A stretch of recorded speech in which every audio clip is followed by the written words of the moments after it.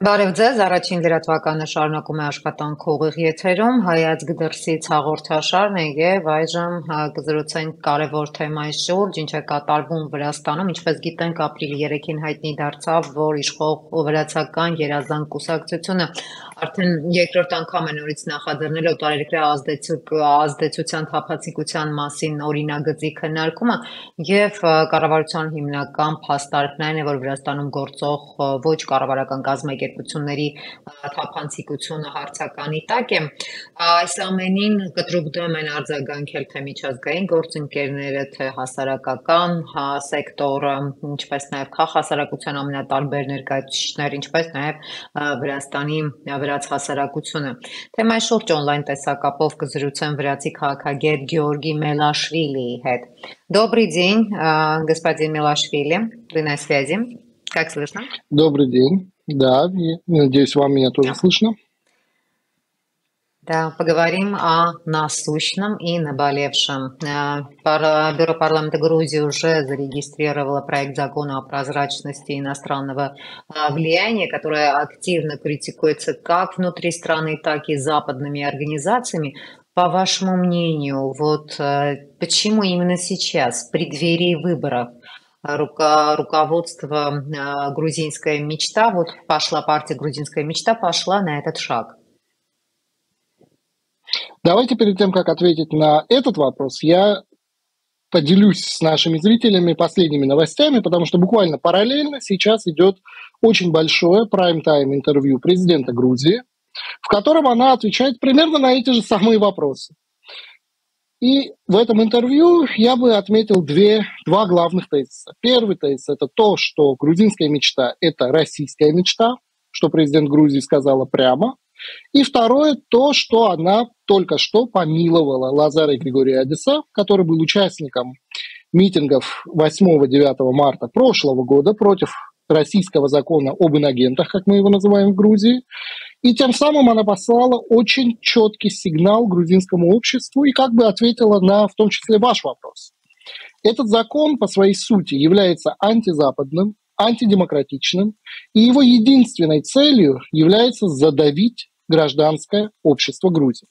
Он направлен напрямую против всех организаций, которые не подконтрольны правящей грузинской мечте и которые создали ей очень много проблем в прошлом году.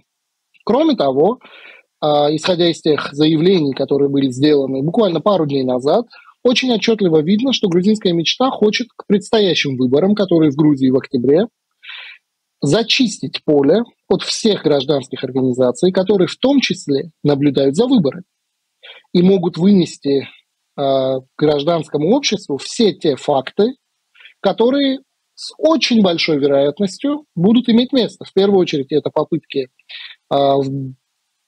попытки фальсификации выборов, это попытки а, незаконного влияния на выборы и все те нарушения, о которых не раз говорило гражданское общество.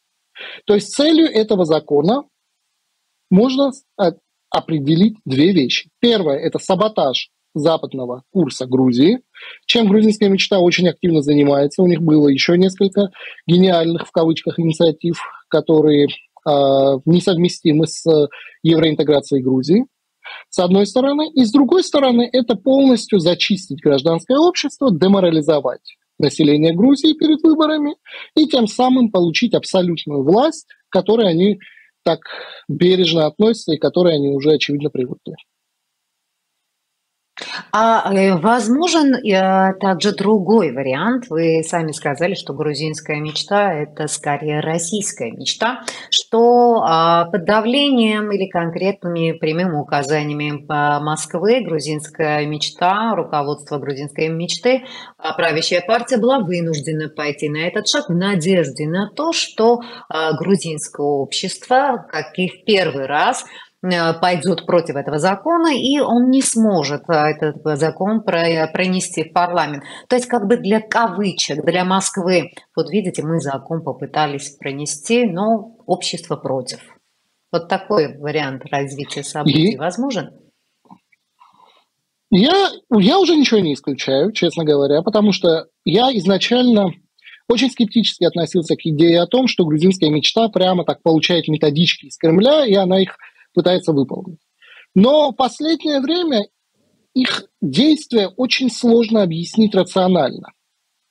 Тот же закон, то, что они пытаются его внести сейчас, перед выборами, тем самым подставив себя под удар, потому что 85% населения Грузии э, относятся к евроинтеграции крайне положительно, и, соответственно, грузинская мечта теряет весь этот электорат. С другой стороны, та компания, пропагандистская, которую, я думаю, вы в том числе наблюдали в Тбилиси в последнее время, когда грузинская мечта в нарушение да, всех да. регуляций, которые существуют в городе, обклеила весь город непонятно какими стикерами, которые э, напрямую атаковали гражданское общество и напрямую пытались распространить ту пропаганду, которую даже Facebook посчитал неправдой. Да, платные, платные То компании. Мечта, платные компании. Да. Грузинская Фейсбуке. мечта пошла такой ва-банк и пыталась задушить uh-huh. гражданское общество перед выборами. Я не знаю, я думаю, мы в ближайшем будущем не узнаем, напрямую они получают методички из Кремля или это их локальные инициативы на местах, так сказать. Но фактом является то, что своими действиями они увеличивают влияние России в Грузии, увеличивают влияние России в регионе, и абсолютно неважно, это делается по прямой указке, или это они своей глупостью добиваются таких результатов. Факт, результат у нас один и тот же. Это то, что грузинская мечта играет на руку Российской Федерации. Вот именно в контексте региональных событий давайте рассмотрим вот этот откат от демократии, от тех всех ценностей и от евроинтеграции, который, э, как мы видим, по инициированию этого закона происходит. Рассмотрим в контексте региона, потому что если понимание того в Грузии, что если произойдет откат от э, европейского пути развития в Грузии, то автоматически он произойдет также и в Армении, потому что мы интересны как целое, как в регионе. Недавно, вот именно в этом контексте, также президент Азербайджана э, на встрече с министром, бывших, э, министром иностранных дел э, Турции заявил, что вот эта трехсторонняя встреча США, ЕС, Армения направлена против сотрудничества на Южном Кавказе и направлена на изоляцию Азербайджана. И то есть получается, что а, возникает вопрос, Армения и Грузия отдельно идут по другому пути, остаются Азербайджан и также и Россия. Ну, начнем с того, что для Грузии сотрудничество на Южном Кавказе является одним из краеугольных камней грузинской дипломатии. Это так было, я думаю, изначально. То, что в Грузии хорошие отношения с Азербайджаном, и то, что ценность Грузии за счет кооперации с Азербайджаном вырастает. Это, по-моему, тоже всем известно. Все прекрасно понимают, что Западу нужны энергоресурсы, и единственная возможность э, быстро и сравнительно недорого доставить эти энергоресурсы – это из Азербайджана через Грузию. То есть это первое, первый пункт. Относительно Армении, я думаю, что в грузинских экспертных кругах, так же, как и в грузинских элитах в общем, это прекрасно понимают. Даже более того, у меня нет, к сожалению, каких-нибудь доказательств, но у меня очень серьезное ощущение, что вопрос Армении активно используется грузинской мечтой, в том числе во время переговоров с нашими западными партнерами.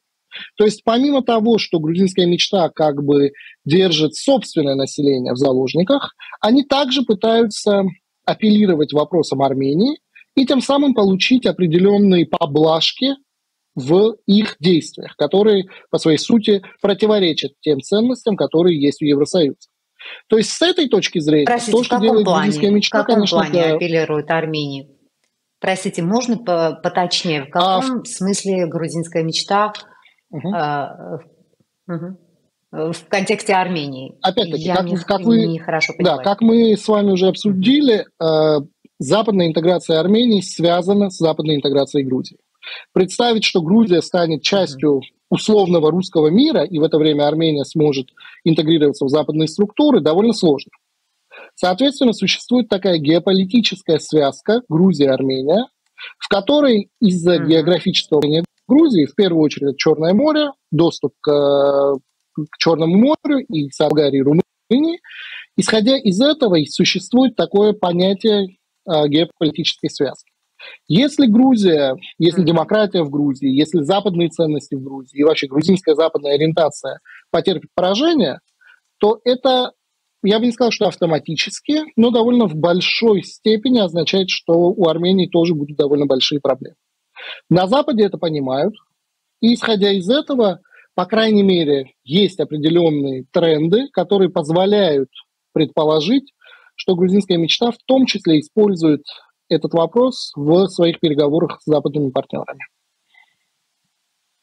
А, то есть, если я правильно поняла, то это помогает также в конкретных вопросах грузинской мечте получить э, ну, поблажки, учитывая тот факт, что этот вопрос решается на региональном уровне. Я правильно поняла? Можно это, конечно, да, да, безусловно. Угу. А по вашему мнению, на предстоящих выборах что произойдет именно в свете вот этих всех последних событий? Насколько вот также грузинское общество, оно а, сможет защитить, как и в первый раз, свои интересы? Потому что есть вот такое мнение, что а, давайте на этот раз особо вот так не протестовать, все равно все решат выборы. Да, есть такое мнение, но с другой стороны, если грузинская мечта зачистит поле до выборов, это означает, что выборы, выборы теряют свою сущность, это будут уже не выборы, это будет такая церемония, как в Российской Федерации, или как в Беларуси, или как в других авторитарных режимах. То есть эм, лично мое мнение это то, что грузинское общество должно быть мобилизованным. Мы продолжим бороться, и я в этом абсолютно уверен. Что касается самих выборов и что произойдет на выборах, то это уже очень хороший вопрос. Есть несколько сценариев, которые активно обсуждаются как оппозицией, так же и грузинской мечтой. Но я думаю, в том числе, исходя из сегодняшнего дня, исходя из того, что будет все последние дни, у нас будет очень четко выраженная необходимость выбирать между Западом и российским вектором. И в этом случае, если оппозиция сможет консолидироваться, я не имею в виду, что они создадут прямо одну политическую партию, и все должны будут проголосовать за эту одну партию. Если они смогут консолидироваться, если они смогут провести нормальную кампанию, в этом случае, разумеется, про российской грузинской мечте выиграть выборы будет почти невозможно. На протяжении всего этого периода времени, буквально с 2012 года, грузинская мечта пыталась сохранить такую маску европейскости, потому что они прекрасно понимают, что в Грузии а, пророссийские партии, открыто пророссийские партии, никогда не смогут получить поддержку большей части населения. Поэтому они апеллировали к таким э, ультралиберальным и неконсервативным э, частям электората. Поэтому грузинская мечта пыталась создать на протяжении всего этого периода электоральную потребность в антизападных партиях. Но как мы, опять-таки, можем судить, исходя из предыдущих выборов, у пророссийских сил в Грузии есть стеклянный потолок. Этот потолок примерно 9-10%. Больше этого пророссийские партии набрать физически не могут. Поэтому политическая партия, которая в том числе может хотеть провести политику Кремля, ей нужно сохранить вот эту западную маску, потому что без этой маски их никогда не изберут. Если эта маска у грузинской мечты слетит, а в последние дни мы наблюдаем очень активно этот процесс, то в этом случае ей будет очень сложно выиграть выборы. И процесс может быть крайне непрогнозируемым. А что может произойти, если, допустим, вот эта последняя миссия грузинской мечты, чтобы и маски слетели, маски долой, но этот закон нужно протолкнуть и тем самым лишить Грузию европейской интеграции, европейского, европейской мечты. То есть это окончательная миссия. Можно рассмотреть в этом ключе, что произойдет тогда, по вашему мнению? Можно, но это не произойдет, потому что Можно общество... рассмотреть? А, рассмотреть можно, однако такой сценарий крайне маловероятен, поскольку грузинское общество сохраняет в себе возможность консолидации. Если мы видим что-нибудь о современной грузинской истории, это то, что в критические моменты грузинское общество всегда смогло консолидироваться и создать определенные проблемы любым авторитариям, несмотря на то, насколько сильными они могли казаться в тот определенный момент. То есть мое ожидание это то, что консолидация обязательно произойдет. Вокруг кого, кто будут эти люди, это сейчас сказать сложно. Я думаю, в ближайшие дни, недели и пару месяцев мы это все увидим. Но если грузинская мечта поставит перед электоратом выбор Россия или Запад, то в этом случае их будущее очень-очень-очень мало кому понравится. Дни сочтены. Да, можно сказать будет, что их дни будут сочтены. В вопросе консолидации какую роль сыграет Саломе Зурабишвили? Первые э, шаги в этом направлении она уже сегодня э, сделала. Кроме того, до этого был еще ряд очень важных решений, которые она приняла, в том числе о помиловании ряда политиков в прошлом. Соответственно, на сегодняшний день ее функция это в первую очередь быть таким арбитром, который, может быть, даже не будет участвовать в выборах. Я думаю, ей это не нужно. Но вокруг которой смогут сплотиться прозападные силы. И опять-таки, речь не идет о единой партии, которая пойдет на выборы одним списком. Речь идет о том, что оппозиции нужно немножечко координировать свои действия, а дальше уже можно говорить о том, что такой польский сценарий, когда каждая политическая партия идет отдельно, но в то же время всех объединяет одна идея, это идея западного выбора Грузии, будет доминировать в электоральном дискурсе, и, соответственно, победить эту идею уже грузинской мечте будет почти невозможно. Спасибо, господин Мелашвили, за интересную беседу и комментарии. Будем ждать дальнейших развитий событий и держать руку на пульсе. Спасибо, приятного вечера. Նշեմ, որ on-line տեսակապով Վրաստանում տեղի ունեցող զարգացումներից, ինչպես նաև դրա ազդեցությունից տարածաշրջանում զրուցեցի վրացի քաղաքագետ Գեորգի Մելաշվիլիի հետ։ Շարունակեք իրադարձությունների զարգացմանը հետևել առաջին դրատվականի եթերում եւ չմոռանաք բաժանորդագրվել ինչպես YouTube-յան մեր ալիքներին, այնպես էլ հետևել մեզ սոցիալական ցանցերում։